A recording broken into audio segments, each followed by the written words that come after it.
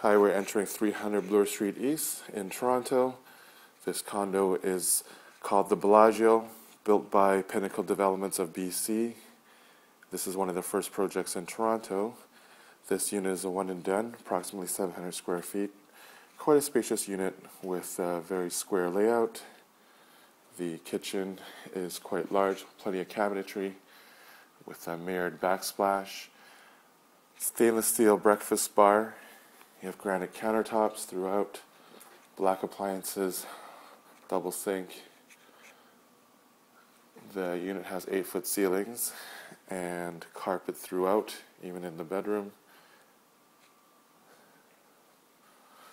The bedroom is huge with uh, approximately 15 or 16 by 10.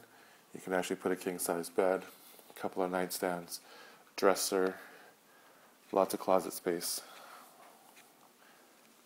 Going into the bathroom, there's stone countertops and a soaker tub. Walking into the den, you'll see that it's enclosed.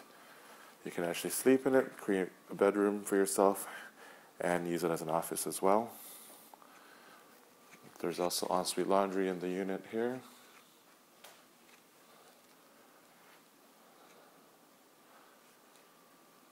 My name is Kenny Shim for Remax Condos Plus. You're watching Showtime Toronto's video feed.